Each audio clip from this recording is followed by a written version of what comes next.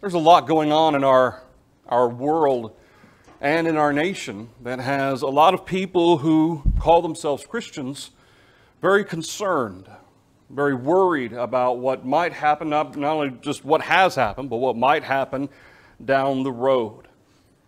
And certainly, as Christians, we can observe the events that are taking place uh, in Europe, and we can see the some of the political issues and societal issues that we have even here in our own country. And we can uh, recognize that there are some things we need to be prepared for, recognize that we have to continue to be faithful unto the Lord, be prepared for whatever may come as a result of that. And if it means being persecuted for that, then so be it. That's going to be true of any age, of any era, of any time over the last 2,000 years, much less uh, the times of, of God's people under the Old Testament as well. But when we consider the events that are unfolding and we consider what we're observing, it brings people to ask is God still there? Is God still watching? Is God still in control? Does He even care anymore? And if He does, then why is He letting all of this happen? Well, obviously, we could talk quite a bit about God and free will of man. How that God lets man make his own choices, and that sinful choices are often not only to the detriment of ourselves, but to the detriment of others as well. Time and time again, the choices of others, particularly sinful choices, can hurt and harm others, sometimes entire countries' worths of people. But when we consider the power of the Lord, it's not really about God's power or God's ability it's about God's willingness that ultimately people wonder about. And so when we ask that question, just as we sang about God's faithfulness, there's an allusion in that first verse to Malachi chapter 3, how that God changeth not. Well, that concept carries into do I believe in God's faithfulness, in the faithfulness of the Lord? When we talk about faithfulness, what does faithfulness mean? Well, in our context of describing the faithfulness of a person as it relates to someone upon I rely, it's their ability or their reliability, their ability to be depended on, to be trusted. And really, when we go through occasions like this, even for the strongest of Christians, there's quite a bit of consternation and concern when viewing events, we're concerned maybe not so much for ourselves, but maybe for our children or our grandchildren, the type of society that they're going to be uh, living in, and the type of society maybe our grandchildren one day might be raised in. How is that going to work? What's going to happen? How are they going to survive as Christians? Well, I'm sure every generation of Christian has probably at some time thought that about the succeeding generation or about the, the, the, situations that were taking place in that particular decade or series of decades. What's it going to be like in 20 years? What's it going to be like in 50 years? But understand that when we talk about the faithfulness of the Lord, we are already describing not just the all knowing of God, not just the all power of God, but his willingness to abide with those whom he deems as being his people. Those who he's going to take care of. Those he's going to watch over. And God's people, the world over, members of his son's body, the Lord, Lord's body, when we pray to the Lord, we often ask for strength to stand before those who may threaten us or those who may harm us. We often ask that God will watch over our land and our situation, that our leaders will make the wise decisions they need to make. Those are all things that we should be praying for as the New Testament bears out. But when we consider God's ability to bring about or to use what is brought about to his purpose, what we're talking about isn't just miracles. Remember, the definition of a miracle is the observable suspension of natural law. That's what a miracle is. It's something I observe that this is not natural, this is supernatural. But a lot of times when we talk about the faithfulness of God and God watching over his people, it's not necessarily with direct intervention of nature defying power. Instead, it's through providence. Now, providence is one of those broad concepts that we can define, but it's hard to put your finger on where exactly God's power is working in a set scenario. Definition of providence, is kind of a wide dictionary definition, is the exercise of foresight and care for the future. There's nothing necessarily miraculous about it, and it's that that definition isn't even necessarily considering an all-powerful God. It's just the consideration of the future, of preparing for the future.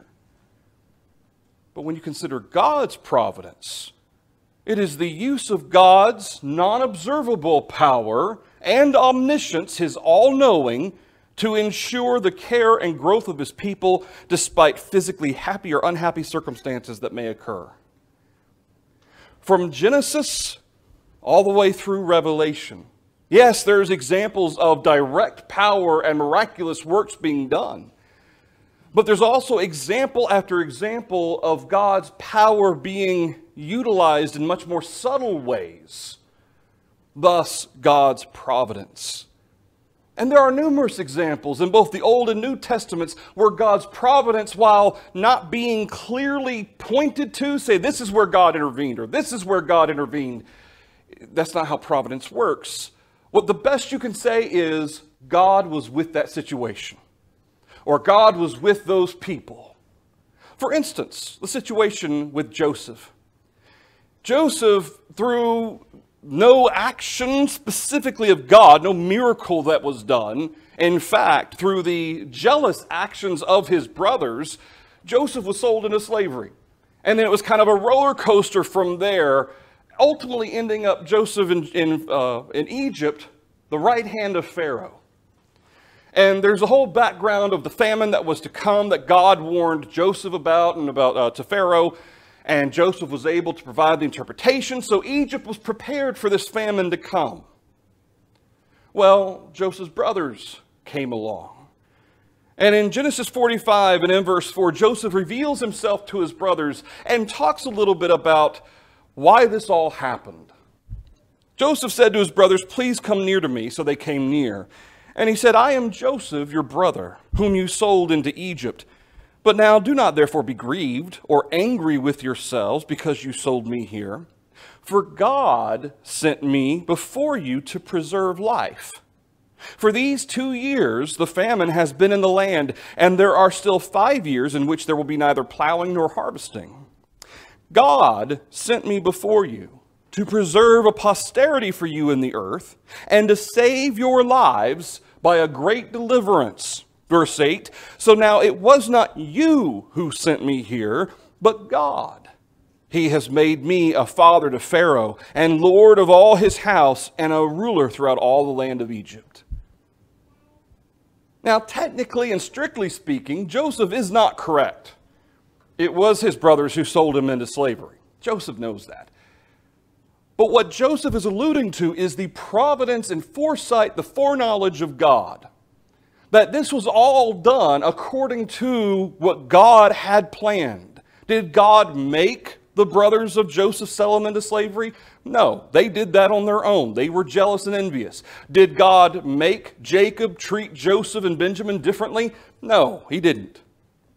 But God knew that's how Jacob was going to react with, with Joseph and Benjamin. God knew how the other brothers were going to react to Joseph. They were going to sell him into slavery. And God, knowing what was to come, made sure everything that happened happened for the purpose of ultimately fulfilling the promise all the way back to Abraham. Keeping that family alive, preserving that family, and ultimately even leading down to them being led out of Egypt by Moses. But Joseph says, after Jacob dies in Genesis chapter 50 and verse 20, the brothers of Joseph are very concerned. They're worried that now that Jacob, Jacob is dead, Joseph is going to reject his brothers. But here in verse 20, Joseph says, As for you, you meant evil against me, but God meant it for good, in order to bring it about as it is this day to save many people alive. Now, therefore, do not be afraid. I will provide for you and your little ones. And he comforted them and spoke kindly to them. Joseph acknowledges that the brothers, they did, they meant evil for Joseph. They meant for him to be gone and to never return. But I mean, and certainly imagine the impact that had on Jacob and how much he wept over thinking Joseph was dead. I mean, what the brothers did was evil. It wasn't just some, some April Fool's joke. This was serious. But what Joseph says is, You meant it for evil, but God used your actions to bring about good. Now, there are certainly some instances of what you would call miraculous situations regarding the, the, uh, the, the, visions or the dreams that were given and the interpretation of them and so forth. But in terms of how Joseph came to be in the position that he was, there is no direct miracle that you can point to and say, this is where God made this happen.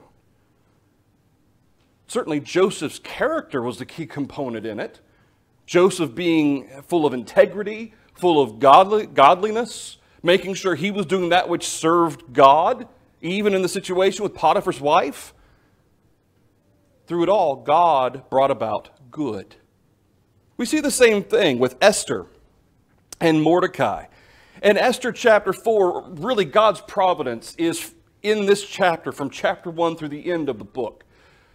But when we look at Esther chapter 4 in particular, after Haman has kind of tricked the king into setting out this decree uh, that uh, basically the Jews would be destroyed, we find in verse verses 7 and 8 how that Mordecai he wants Esther to know about what's taking place. Esther responds in verse 11 I, I can't. I can't go to the king and I can't talk to him about this because if I do, I could be put to death, she explains in verse 11. So in verse 12, a messenger comes and tells Mordecai about what Esther has said. And in verse 13 and 14, Mordecai says this He told them to answer Esther, Do not think in your heart that you will escape in the king's palace any more than all the other Jews. For if you remain completely silent at this time, relief and deliverance will arise for the Jews from another place but you and your father's house will perish. Yet who knows whether you have come to the kingdom for such a time as this? First of all, notice Mordecai's faith. That if Esther does nothing, that's not going to change the fact that God's still going to rescue and keep his people. God's still going to take care of his people. Why? That goes all the way back to the promises to Abraham and everything since that point, all the way up into captivity. Mordecai was convinced that God's going to take care of us one way or the other. But think about this. Maybe, even though Esther or Mordecai doesn't put it in these words, maybe God has brought it about for you to be in the position you're in for this purpose so that you can save your people. But notice this isn't as much about God as it is about Esther. Are you going to do the right thing? God's still going to bring about salvation for his people.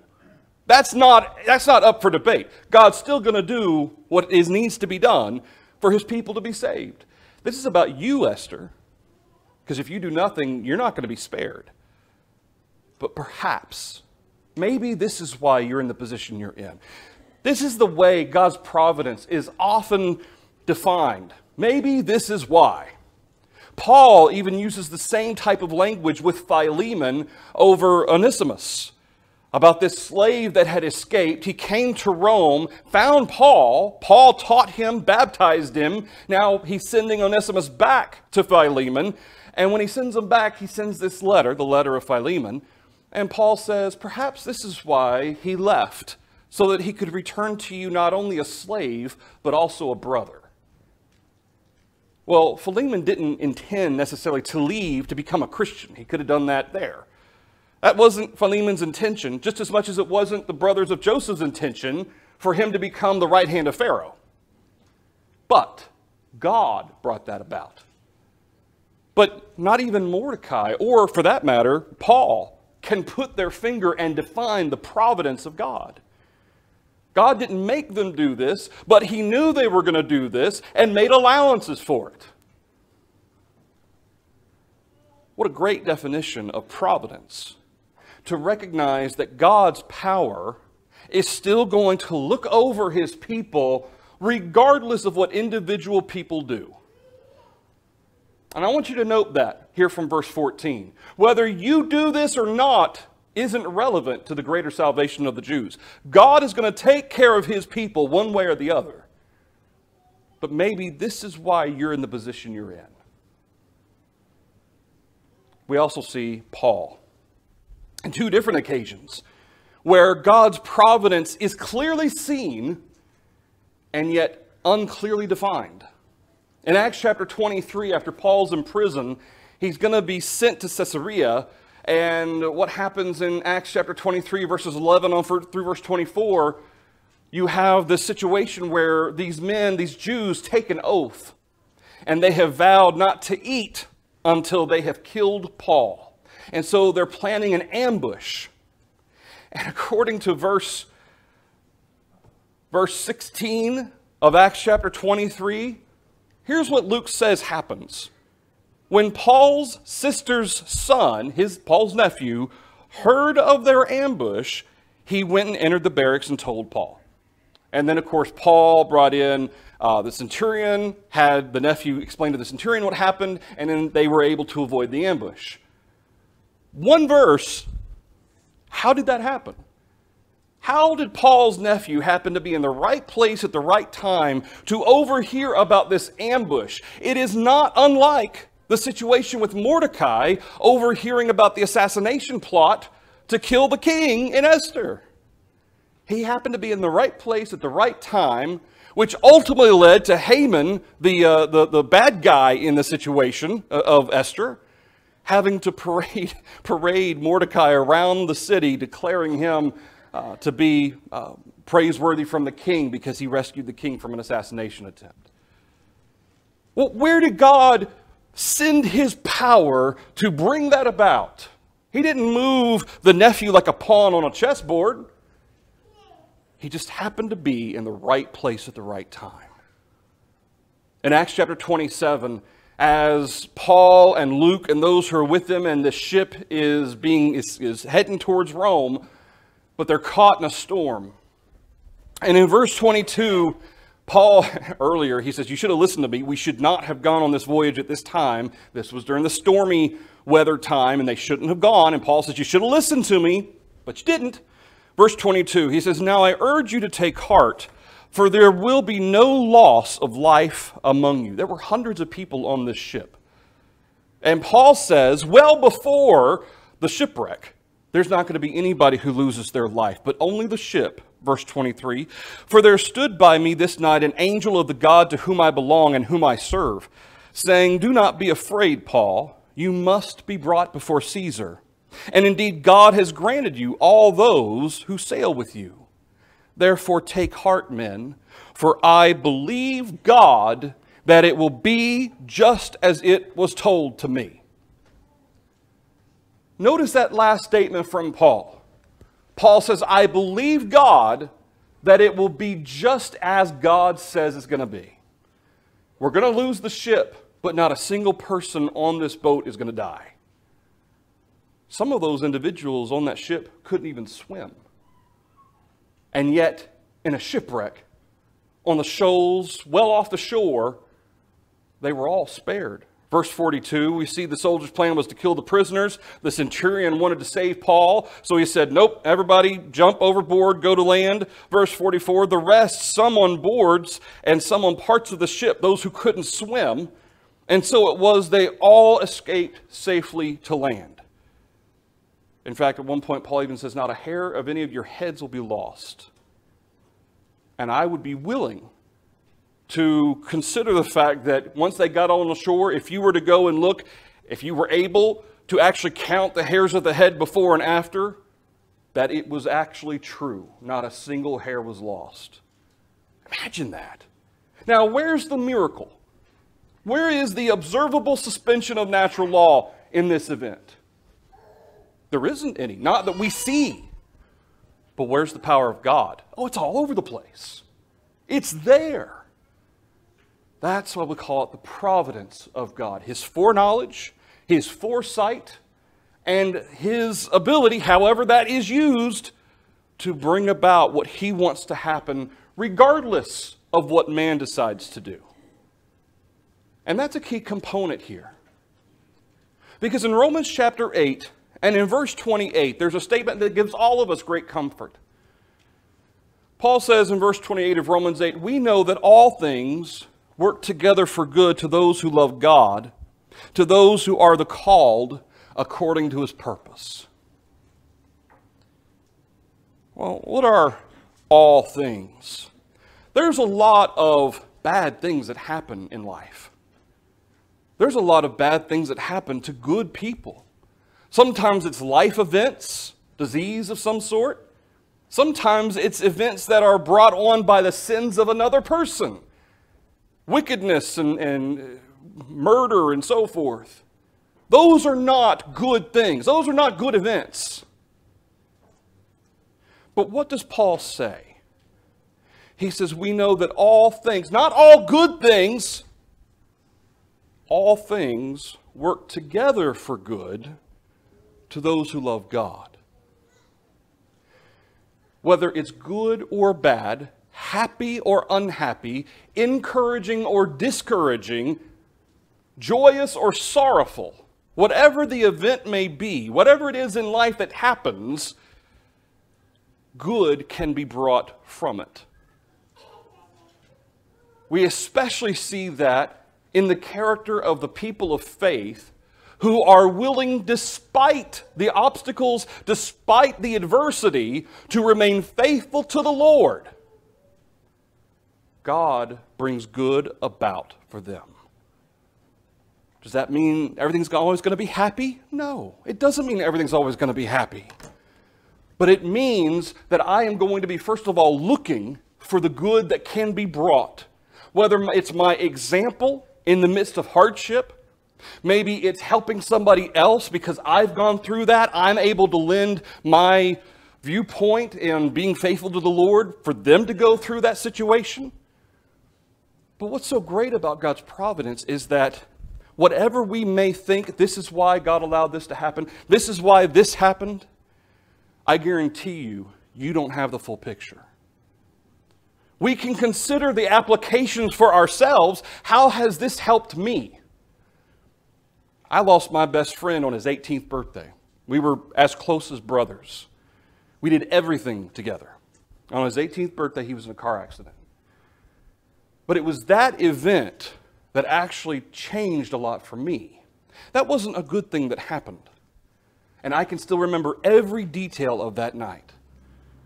But what I can tell you is that what has come from it has affected me. But not just me. His older brother ended up being baptized after that. This is a family that were raised Catholic. Not only that, but since then, there have been so many aspects of that event that has affected not just me, but people that I would have never have thought would have been affected by it. You never know what can come from an event, whether it's something that you have no control over or it's your example that you never realize what kind of impact it can have. That's the providence of God. And you will never, at least not on this earth, ever see the full picture of it.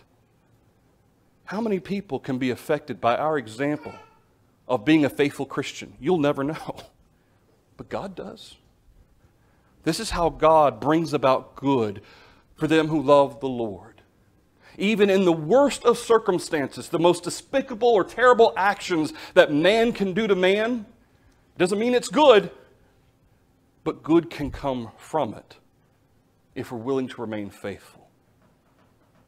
We see examples of, in the New Testament, of people bearing out the faithfulness of the Lord. That over and over again, God is faithful.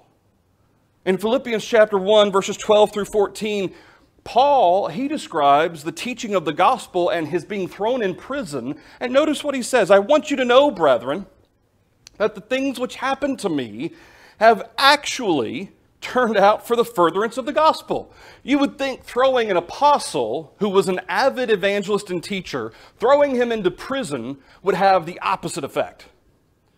You'd think, well, we'll kind of slow down the spread of the gospel.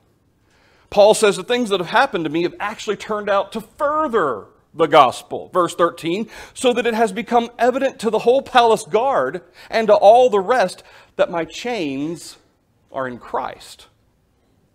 Verse 14, and most of the brethren in the Lord, having become confident in my chains, are much more bold to speak the word without fear. You would think it would have the opposite effect that the Christians would be timid, that they'd be scared. Paul says that's not what happened for most of them. It actually had the opposite effect providence. There's no miracle there, it's providence. In James chapter 1 and in verse 2, James utters a ridiculous statement. He says, My brethren, count it all joy when you fall into various trials. It's ridiculous. Count it all joy when you fall into trials, in adversity, when you come across obstacles. But James explains why we should count it all joy. Why are we blessed when we go through trials?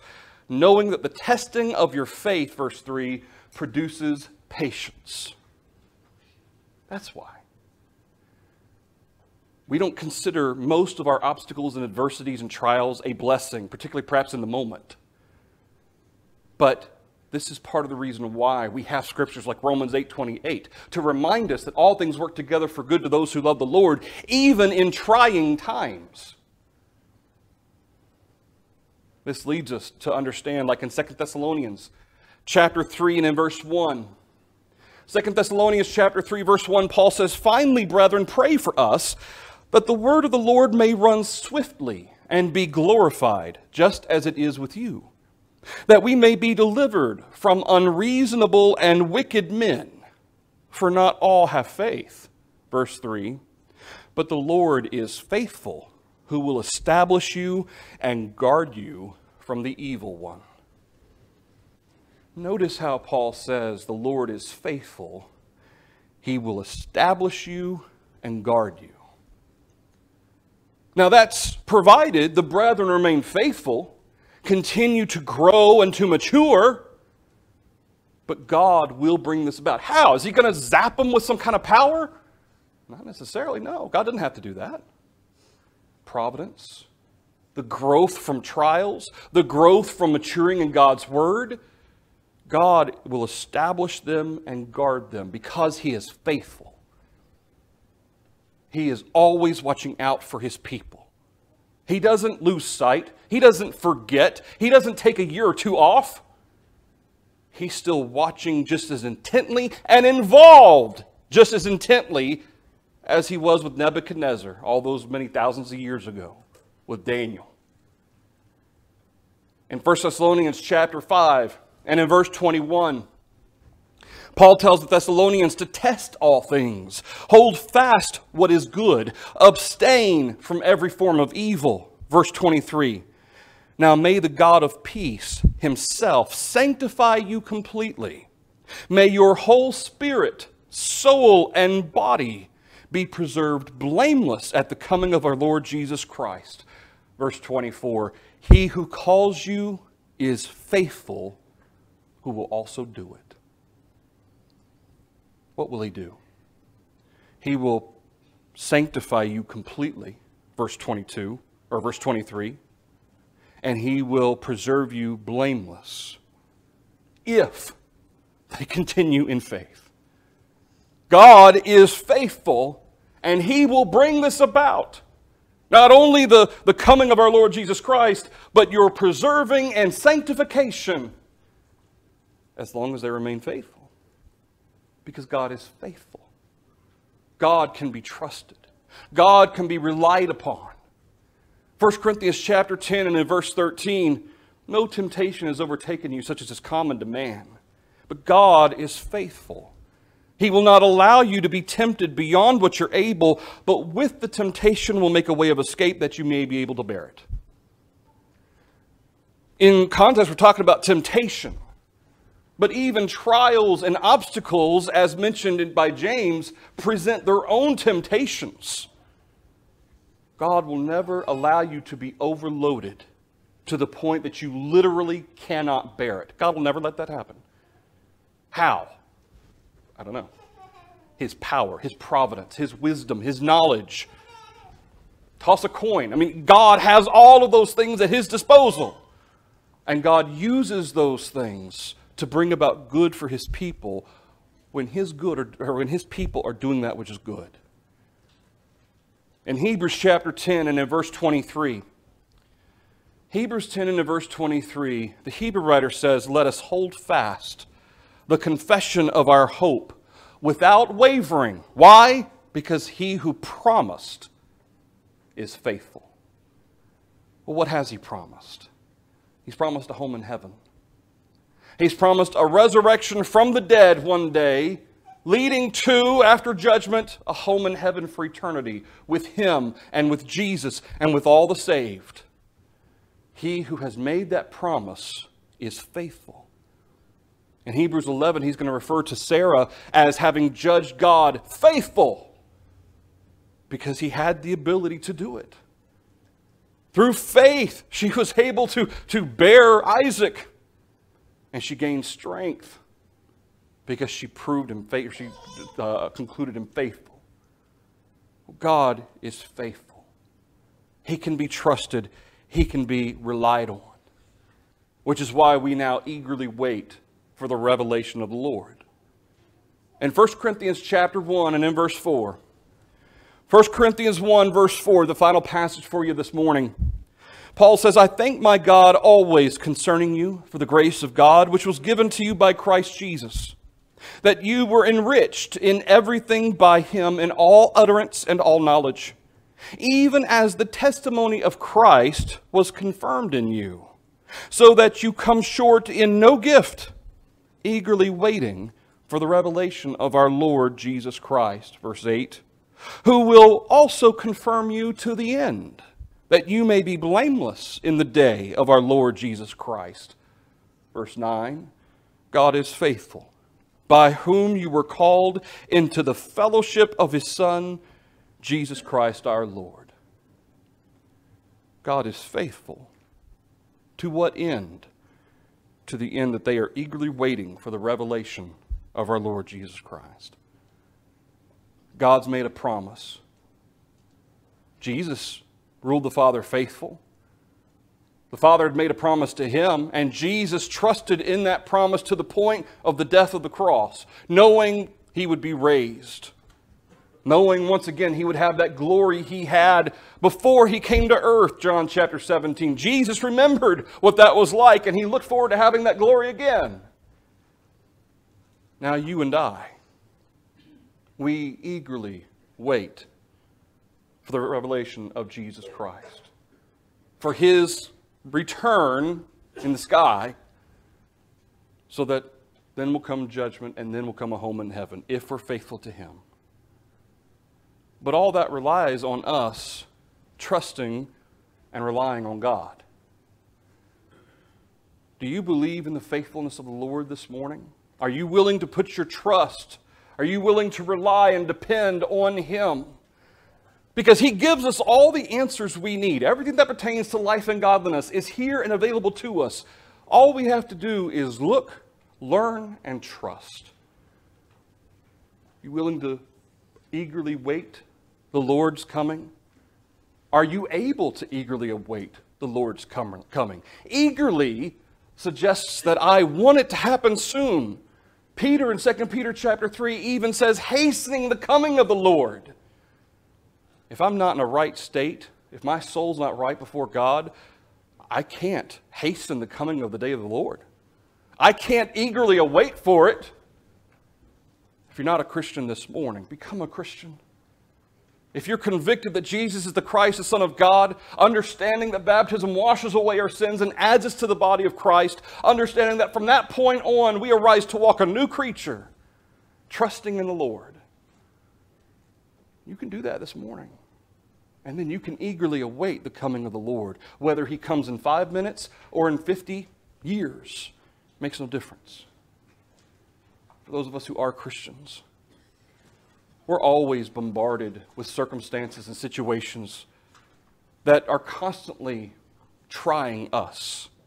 Whether it's things in our individual lives or situations, political, societal, whatever, that we observe around us. But this is not new. We aren't facing anything that faithful people haven't faced before. And the example we have of these faithful people is that they trusted in the Lord. They considered him faithful who has promised, knowing that he continues to rule in the kingdoms of men. That hasn't changed. Therefore, when we're tempted to ask the question, God, why are you letting this happen? Stop yourself. Because we have absolutely no idea what we're talking about. God does. He sees the big picture. You and I, we know nothing. And that's the lesson that Job learned. Don't question the wisdom of God because guess what? You and I weren't there when God created the earth. You and I weren't there when He established the foundations of the, of the oceans and the seas, when He created Leviathan and Behemoth. God was. God is allowing things to happen as He wants them to happen. You and I, here's the great thing about this you and I, all we have to do is be faithful. We don't have to take on the, the burdens of society to fix things. That's not our job. Our job is to be faithful and to let our light shine before men that others may be faithful too. If you're subject to the invitation this morning, come forward as we stand and sing.